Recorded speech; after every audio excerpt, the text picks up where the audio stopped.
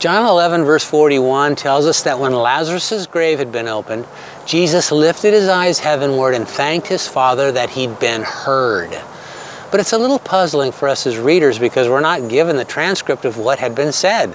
We don't even know when he said whatever it was.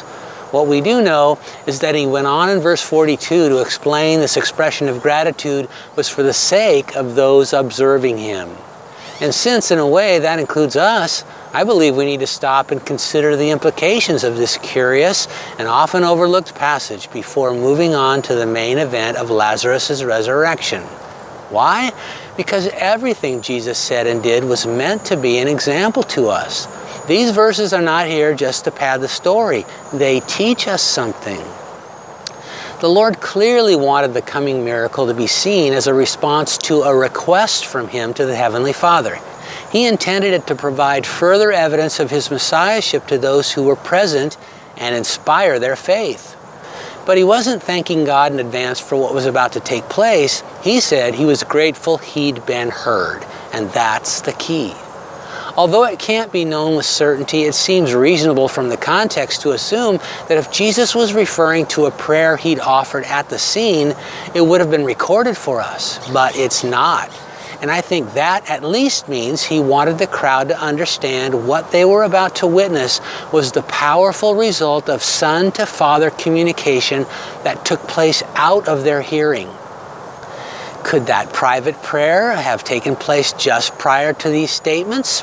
Of course. But it could just as easily have happened hours or days before.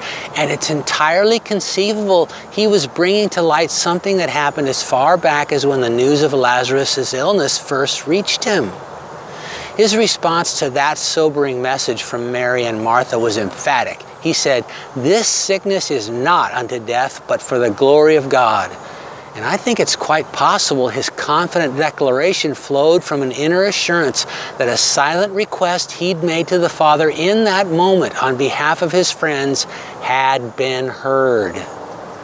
And if that's the case, it's a powerful lesson to us.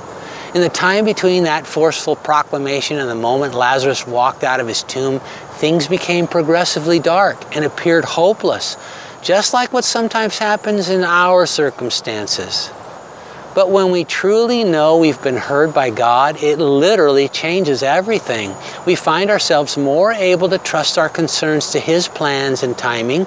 It ushers us into what Philippians 4 7 describes as the peace of God, which surpasses all understanding.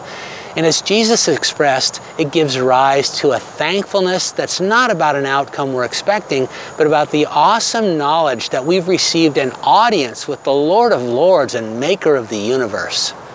Earlier this week, our son called to tell us his doctor had removed some tissue from his leg and it had been diagnosed as malignant melanoma.